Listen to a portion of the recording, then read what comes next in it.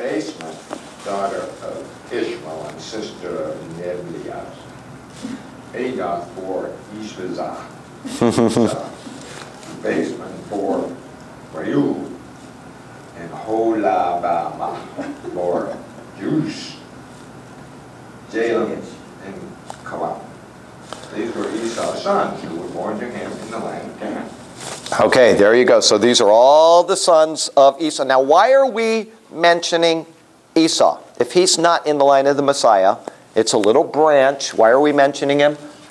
Anytime you see somebody mentioning all of their descendants, here's the genealogy of Jesus is here, and all these little things that come off and they mention them. It's because they are going to somehow do something.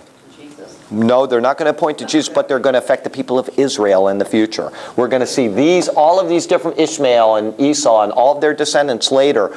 And Edom in particular uh, uh, weighs highly on uh, the book of Deuteronomy, I believe, maybe Numbers and Deuteronomy, and then later in the Bible. And there's going to be judgments, maybe in Jeremiah or Isaiah. Some of these other prophets are going to talk about the sons of Edom. Okay, that's why they're being mentioned, is because they affect the people of Israel in God's working through the people of Israel to the Messiah. That's why they're being mentioned. If they had no bearing, they wouldn't give us all these genealogies. Okay, go ahead. Esau took his wives, sons, daughters, and all the people of his household, as well as his herds, all his livestock, and all the property he had acquired him. He went to a land away from his brother Jacob, for their possessions were too many for them to live together. Okay, who else had that same problem? No. Another, another generation up. Abraham and Lot. Same thing. Remember that? All right. Go wherever, whichever way you turn to the right, I'll turn to the left. If you turn, and so a Lot looked down and saw that the whole plain of the Jordan was well watered and suitable for flocks, and so he took his family and his uh, possessions down to Sodom and Gomorrah. But same thing happened there, and so these people are dividing, and this is showing the division of the nations to their respective locations, which would eventually bear on the people of Israel. Go ahead. For them to live together, and because of their herd, the land where they stayed could not support them. Hmm. So Esau, that is Edom, bred in the mountains of Seir. These are the family records of Esau, father of Edomites in the mountains of Seir. And there are a lot of names coming up. Um, oh boy. Okay, I'll count here. Oh my. There are the names of Esau's sons. Ephazah, son of Esau's wife Adah, and Reuel, son of Esau's wife Basemath. Basemath is still a common name among Muslims today, just so you know. Go ahead.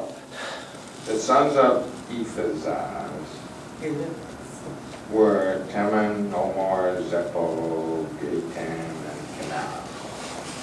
Zimah, a concubine of Esau's son Ephazah's, for Amalek to Okay, Amalek. All of a sudden the name Amalek comes in. Anybody know about the Amalekites? Amalekites are going to be enemies of Israel, great enemies of Israel. They're going to, on the way into Israel, they battled the Amalekites, okay? Eventually, uh, Saul was told to destroy the rest of Amalekites, all right? The king Agag, who was one of the Amalekites, was spared by uh, uh, Saul. Samuel was very angry. He went and cut King Agag to pieces, all right? And the Lord said, Because you've done this, they're going to be uh, uh, uh, affecting you forever. The Amalekites are always going to be at enmity with Israel. You were supposed to destroy the people, and they didn't. And guess who is the chief, the chief enemy of Israel in the book of Esther when they're living up in Persia? Haman the Agagite, a son of Agag who was cut to death, cut to pieces by Samuel. In other words, that's why these names are in here, is because they affect Israel all the way down.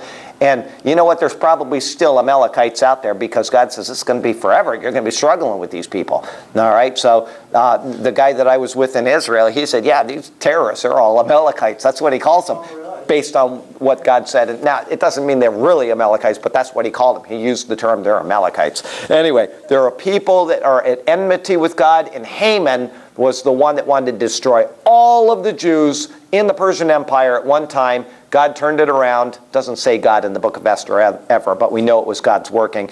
It was turned around, and so since then, since the time of the book of Esther, they have celebrated continuously, year after year after year, the feast of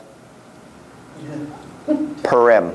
That's right. P U R I M, which means lots. They cast lots for when the Jews would be destroyed, and lots were turned around in the Jews' favor. So there you go.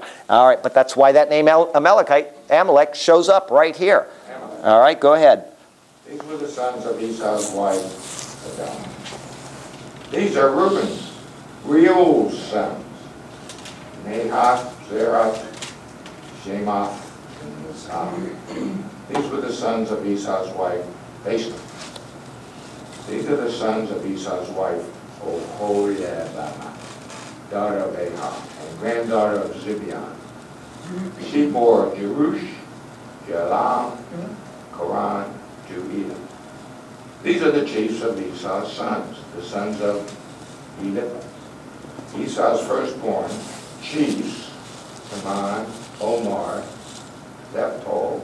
Zephol, Kenaz, Korah, Gatham, and Amalek.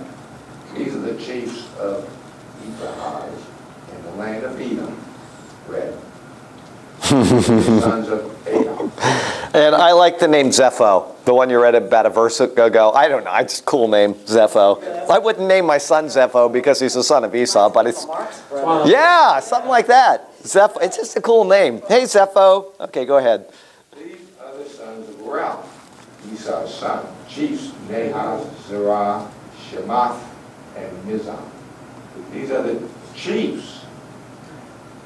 What do they mean, chiefs? The heads of the tribe. It would be like a chief would be, uh, you have the, the 12 sons of Israel, and then they had their own sons, and maybe each of those sons became a chief of a lesser tribe. You have the main tribe, and then you have chiefs of, as, Bible calls it dukes. Dukes? In that Bible? I've never heard that one before. That's the first time I've ever heard the term Duke used. What, what version is that? This is Dake's annotated. Do, do, Is that right? I've never heard that before. I'll have to read that version. Huh? Dukes. these are the chiefs of Reuel in the land of Edom. These are the sons of Esau's wife, Bashan. These are the sons of Esau's wife, Oholibamah. Chiefs, Jerush, Jadan, and Karam. These are the chiefs of Esau's wife, Oholibamah, daughter of Abraham. These are the sons of Esau, that is Edom, and these are their chiefs. These were the These are the sons of Seir and Horeb, the inhabitants of the land, Lotah, Shobah, Zibeon, Anat. Okay, now what they're doing here is he moved to the land of Seir. And so they are showing the genealogy of the people who are in Seir now. Not just Esau who moved there, but who are the tribes that are in that land as well? Because eventually, you know, they're either going to intermarry or one is going to win out over another. And so they're showing that. Because the same people that are there are the ones that are going to be coming against Israel. And so they're showing us these genealogies for history's sake. Everything is in here to show us history. Because these people didn't keep records the way the Jewish people did. The Jewish people kept these records. When we get to the book of Chronicles, this can go on and on and on. But they all have a bearing on Israel. And that's why they're. And as I said, it's not just Israel at this time or at this time or at this time. This is all the way through. We can trace these people even to this day through who we know they migrated here, they migrated there. And so this is something that people do, biblical studiers. They actually follow the migration of these people all over and they know who is doing what and how they are still affecting Israel all this time. It's, it's fantastic what people do. This Bible says that the Horites were a branch of the giants who came from the sons of God and daughters of men after the flood. which is Genesis 6, I believe. Um, and I'm going to read you that. And seeing as how you brought that up, um, we're, we're going to divert real quickly. Um, uh, let's see here. Oh, we got time. All right. You were referring to the sons of God. And it says in, yes, Genesis 6, it says, Now it came to pass when men began to multiply on the face of the earth, and daughters were born to them, that the sons of God saw the daughters of men, and they were beautiful. And they took wives for themselves among all of whom they chose. Okay? All right? And then it, down in verse 4, it says, they, There were giants on the earth in those days, and also afterward, when the sons of God came into the daughters of men, and they bore children to them, those who were mighty, men of renown, men of old, men of renown. Okay? Your Bible, that comment that they said they're descendants of these people is wrong. How do you know they're wrong? That's in Genesis 6. There's no doubt that it's wrong, 100% wrong. Okay? Very good reason why we are careful with Bible commentaries. What happened in Genesis 8? Noah found favor in the eyes. Well, actually, 7 and 8. What, what, what is it that Noah was doing? Building the ark. The ark. The flood. What does it say in Genesis 7:21? It says, "And all flesh died that moved on the earth, birds and cattle and beasts and every creeping thing that creeps on the earth, and every man." And how many people were saved on the ark? Just Noah and his family, eight people in all. Noah, his wife, his three sons, and their three wives. Eight people in all. That's confirmed in the New Testament in the book of uh, 2 Peter, all right? And maybe even in Jude, but it's in 2 Peter. And so that tells you that that analysis is wrong. And the reason why it's wrong is because everything died except those eight people, unless you don't hold to a worldwide flood. It could have been written by somebody that didn't think it through or somebody that believes that the flood was local only. Okay? I hold to a worldwide flood. Genesis 7, where? Ge- well, Genesis 7, uh, I just closed it. 21, is that what I said? Genesis 20, 7, 21. So all of those people in Genesis 6 had died. Now, I'm not going to get into it, but um, it, it, it- maybe they did there. I don't know. There are two possibilities as far, might as well get into it, seeing as how we'll review real quickly. Let me erase some of this stuff because I ran out of room. And um, and this will give him a break from reading all those names, which, you know, it gets a little, it's not tedious in itself, but you want to kind of stand back from it occasionally because if you read just the book of Chronicles straight through, you get watery eyes. Not because it's boring, but just because there's so much information. But um, sons of God came into the daughters of men.